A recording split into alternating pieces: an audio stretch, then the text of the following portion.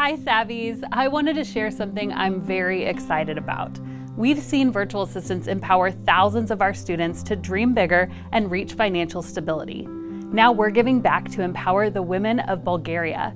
Today, I'm thrilled to introduce to you a partner that's helping us reach that goal Convoy of Hope. I'm at the Convoy of Hope World Headquarters in my hometown of Springfield, Missouri, with Matt Wilkie. Convoy of Hope is an organization with a driving passion to feed the world. We respond to disasters in the U.S. and around the world. We train individuals in agriculture, feed more than 465,000 children every school day, and empower women, all across 29 different countries. Thanks to you and the Virtual Savvy family, we have helped the Roma community in Bulgaria get access to clean drinking water and laundry facilities. The Roma, more commonly called the derogatory term gypsies, are the most marginalized people group in Europe. After the fall of communism in Bulgaria, many of the Roma were forcibly removed from their homes and mandated to live on the outskirts of cities without access to water or electricity. Since then, the Roma have fallen behind in education, health, and employment opportunities.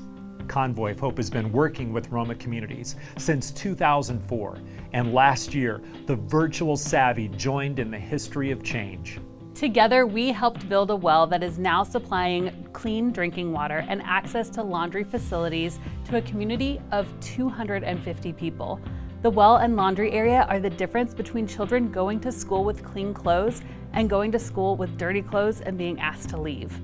We've also helped provide water filters to people in Bulgaria and Moldova, along with water testing resources in their communities. This is the difference between a mother spending hours walking back and forth collecting water for her family to drink and collecting all they need in a matter of minutes. Change rarely happens overnight. It's often a matter of many small steps taken over a long period of time.